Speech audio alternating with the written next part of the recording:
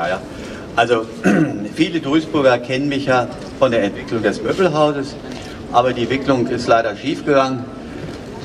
Wir kamen in die Stadt und fragten, ob wir willkommen sind.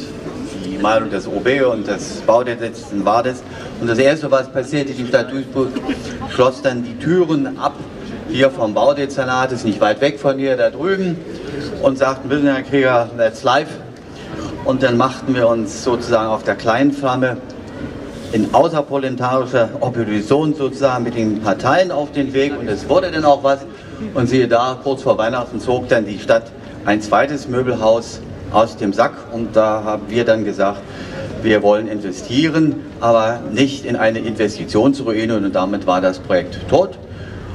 Und äh, wie wir alle wissen, gab es ja dieses Unglück auf dem Gelände. Wir fühlten uns dann aber denen, die verletzt Tote in der Familie hatten, verpflichten und haben uns dann um das Denkmal gekümmert. Deshalb blieben wir auch in der Stadt und es war eine schwierige Operation, aber alle Politiker waren dann auch sehr froh, dass sie mich hatten.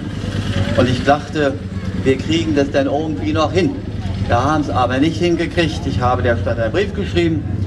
Ich mache das, weil ich da persönlich überzeugt bin, aber kommt ja nicht auf die Idee, ich bin ein Mann von Ehre und fordert eines Tages von mir das Denkmal.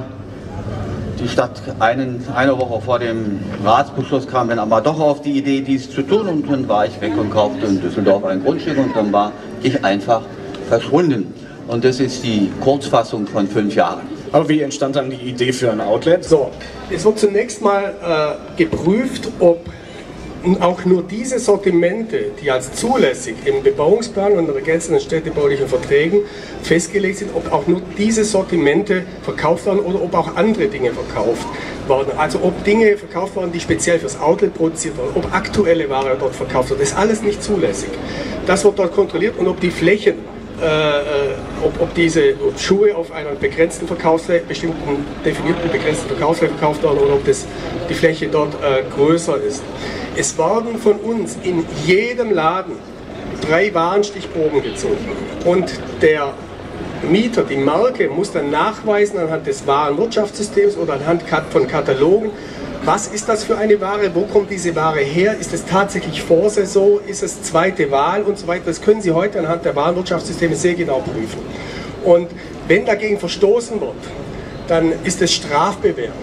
Das geht dann, die, die, die, diese Strafe war dann gegen den Outlet-Betreiber ausgesprochen und der nimmt natürlich seinen Mieter wieder äh, in Regress. Und unsere Erfahrung ist die, die Standorte, die entsprechend kontrolliert worden, sind auch relativ sauber, was das angeht. Das habe ich auch im WDR gesagt, in dieser äh, Reportage. Aber es gibt eine Reihe von Standorten, die sind völlig liberal in dem, was sie tun und machen können. Und da steckt natürlich ein Gefährdungspotenzial drin, weil sie von den Sortimenten her dann die Möglichkeit haben, relativ nahe an das auch zu rücken, was üblicherweise auch eine Image hat. Weitere Frage? Also ein bisschen unklar war jetzt, äh, wie lange Sie schon diesen Zeitraum gestellt haben. Aber eine andere Sache.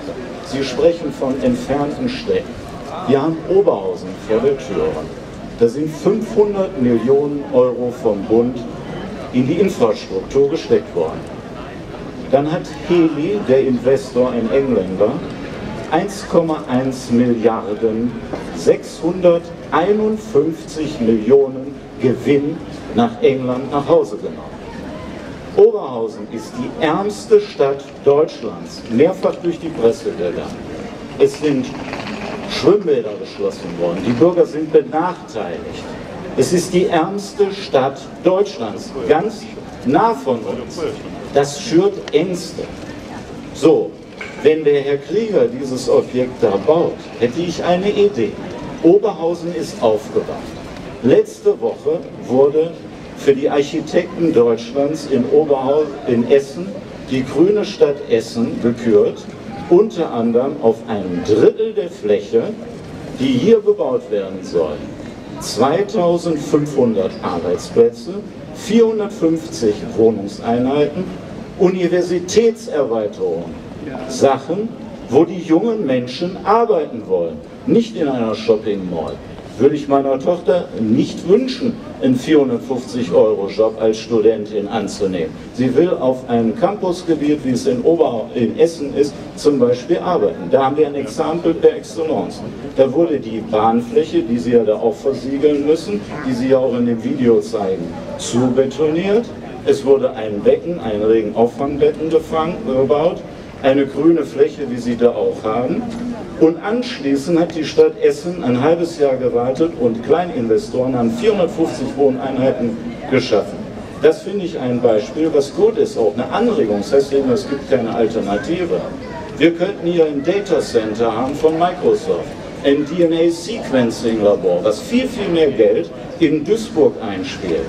Nämlich ungefähr 800 Millionen jedes Jahr Geld auf dieser Bahnhofsfläche können erwirtschaftet werden und weil sowohl medizinische Daten als auch steuerrechtliche Daten in Duisburg bleiben müssen und hier versteuert werden müssen. So, und da ist nämlich die Sache, warum machen Sie nicht sowas? Das wäre doch viel sozialer und es würde doch dem Herrn Krieger bestimmt viel, viel mehr Spaß machen, so ein Projekt umzusetzen. Er kann auch noch mehr Geld verdienen, nämlich das sind ja dann 8 Milliarden in 10 Jahren. Und wir hätten mal ein Vorzeigeobjekt und wir hätten aus Oberhausen gelernt und wir könnten Essen sogar noch Paroli bieten. Aber so viel Unsinn auf einem Satz habe ich mein ganzes Leben nicht gehört. Ich verkaufe Ihnen das Grundstück, machen Sie es doch. Ja, für welchen Preis denn? Die, die, die Für Preise, welchen Preis denn? die, die, die Sie Preise, haben es doch günstig erworben. ja, so günstig war es nun auch wieder nicht. Also, ich verkaufe Ihnen das zu dem Preis, wie ich es gekauft habe. Denken Sie an folgenden Satz. Eigentum verpflichtet. Wir waren hier längst weg, weil er von der Stadt gearscht worden, um es mal klar zu sagen.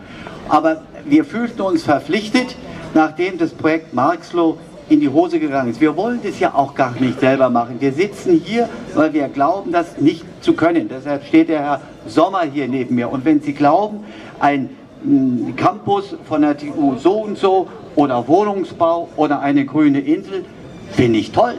Ich, wer, wer, wer kann das nicht toll finden? Die Frage ist nur, ob Sie da einen finden, der Ja, auch sicher. dieses... Äh, ja, bitteschön. So, wir werden doch von Ihnen hingehalten, von Ihrem Team. Ich habe die Bürgerinitiative am 13.03. eingeleitet, nachdem der Oberbürgermeister am 8. Februar, nachdem er am 1. Februar es durchgeschoben hat durch den Rat der Stadt, hier in dem Citypalais vor 450 Leuten gesagt hat, dann werden Sie Bürgermeister oder lassen Sie den Rat der Stadt wählen, wenn Sie noch was ändern wollen. Nur noch eine Bürgerinitiative konnte Sie stoppen. Nämlich in Oberhausen ist doch genau diese Sache auch durchgeschoben worden, ohne dass der Bürger noch mit eingreifen konnte.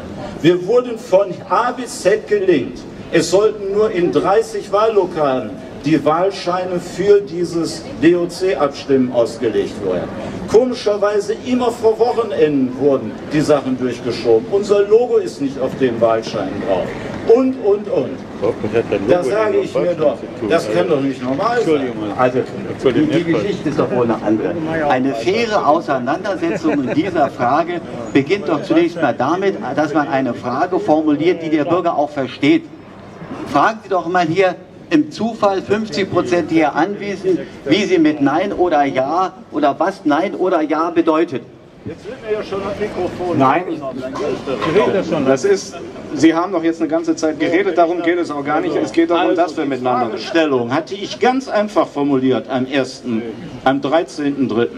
Ja zum DOC, Nein zum DOC. Diese andere Sache ist am 20.03. durchs Der- äh, Rechtsamt erzwungen worden. Und da will ich gar keine Stellung jetzt dazu nehmen, weil das hat die zweite Gruppe, Herr Boris Roskoten und noch unser Dritter von der Initiative gesagt, das müsste so sein. Ich wage mich mittlerweile zu fragen, ob es so sein muss. Die eine Woche für die Unterschriften haben wir aber mehr bekommen. Und wir hatten außerdem nicht 22.000 Unterschriften, sondern 26.000. Ist doch wunderbar. Das Bürgergebären ist das scharfste Schwert der Bürgerbeteiligung überhaupt. Wenn der Bürger am Sonntag zum DOC Nein sagt und damit Ja meint, ungefähr Ja sagt und damit Nein meint, dann ist das Projekt tot. Punkt aus Feierabend. Das heißt, der Bürger hat dann gesprochen. Was wollen Sie noch mehr, um das Ding zu verhindern? Sie haben es jetzt in der Hand. Sie haben Hunderttausende von Werbung gemacht, um das DOC zu verhindern. Ist doch in Ordnung. Sie waren nicht bereit, Ihre Quellen offenzulegen. Sie, Herr Oberblichler ist doch neulich gefragt worden. Die Frage ist doch ganz einfach. Wer finanziert die Initiative? Also ich nicht. Null Euro. Null Euro.